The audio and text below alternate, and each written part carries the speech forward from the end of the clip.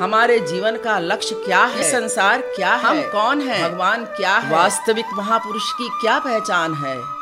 अध्यात्म से जुड़े ऐसे अनेकानेक प्रश्नों के सरलतम उत्तर के लिए विश्व के पंचम मूल जगत गुरु 1008 स्वामी श्री कृपालु जी महाराज द्वारा दिए गए अलौकिक प्रवचनों को संस्कार चैनल पर साधना चैनल पर, जी जागरण पर एवं आस्था चैनल पर अवश्य देखें और अपने मानव देह को सार्थक बनाएँ।